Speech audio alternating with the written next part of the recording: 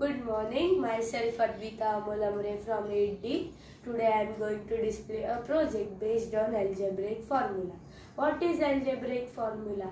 Algebraic formula is a mathematical expression that represents the relationship between the constants and the variables using symbols, numbers and operations. It also involves addition, subtraction, multiplication and division. For example, a minus b square is equal to a square minus 2ab plus b square. First we will write the formula. After writing the formula we will substitute the value. After substituting the value we will get the answer 25x square minus 40x plus 16. Second formula a minus b a plus b cube is equal to a cube plus b cube plus c 3ab plus a plus b is it, uh, now we will solve the formula.